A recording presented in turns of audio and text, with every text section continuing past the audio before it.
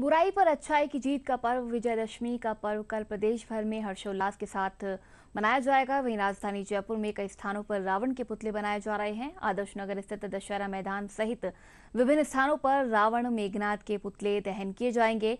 वहीं आदर्श नगर में 105 फीट का रावण और 90 फीट के कुंभकर्ण के पुतले बनाने में कारीगर जुटे हुए हैं।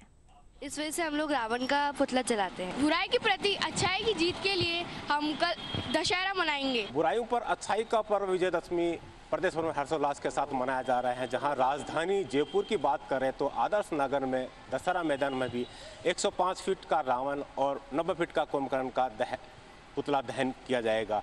आज बात करते हैं श्री राम मंदिर आदर्श नगर के राजीव मनचंदा जी से। मनचंदा जी कितने साल से मनाया जा रहा है? क्या विशेष है? हमारे यहाँ श्री राम मंदिर प्रन्यास आदर्श नगर में रावण पिछले सन 1956 से बनाया जाता है। जब एक छोटा सा रावण बना के गोल चक्कर स्कूल में चलाया जाता था। शनै शनै ये चूँकि ऊँचा होता गया, इसका आकार बढ़ता गया और उसी अनुपात में भीड़ भी बढ़ती गई। फिर हमने इसको सामने श्री राम मंदिर के सामने एक दशहरा मैदान है और उसमें इसको दहन करना आरंभ किया, जहाँ की आगे चल के मेले का भी स्वरूप लेने लगा। इस साल ये तिरसठवें रावण दहन हो चुके हैं और ये चौंसठवा रावण और कुंभकर्ण दहन के लिए तैयार है। बनना जन्माष्टमी के बाद से शुरू हो जाता है। लगभग डेढ़ से पौने दो महीने इसमें लग जाते हैं बनाते बनाते।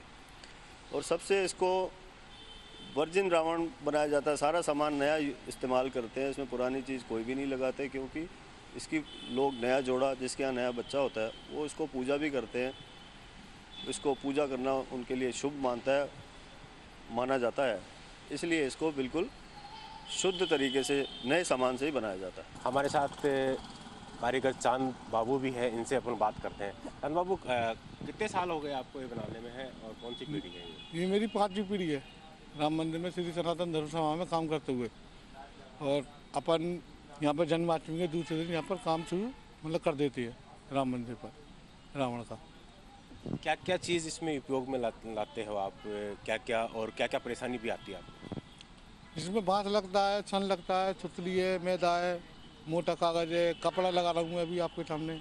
इनकी पांचवी पीढ़ी ये लगातार ये काम कर रहे हैं और आदर्श नगर दशहरा मैदान में ये दशहरा विजयदशमी के अवसर पर रावण और कुंभकर्ण के पुतले दहन किए जाएँगे।